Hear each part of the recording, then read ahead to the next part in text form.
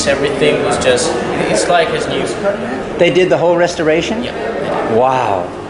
And Not ma- in Argentina? Not in Argentina? Uh, sorry.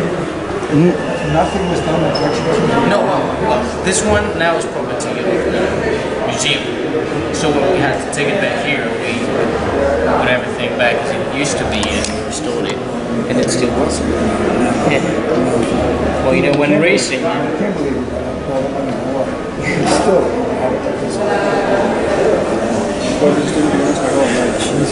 Wow.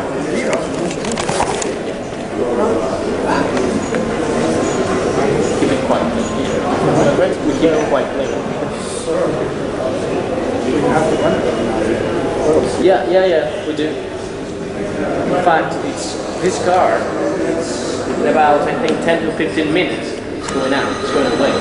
So you just you're just in time to see. Yeah, Yeah, I heard it. Yeah, just in time. Wow. Where's it, where's it going? I think probably he has to go to the factory for some uh, photo shoot. Okay. I'm not sure. So you really see it drive out if we wait. Yeah, well, I don't know if we'll just push it out. Push or, it out. uh, turn it on and out. Well, yes, that's true, but if we have to take it to the factory, we probably won't drive it in the streets, so we just charge it the bus, uh, special transfer, and take it from there. Ah, right. So you said that the the Ferrari Classiche did the restoration? Yes. All right. When did they finish it? We know I'm not sure, sorry. All right. Yeah. Right?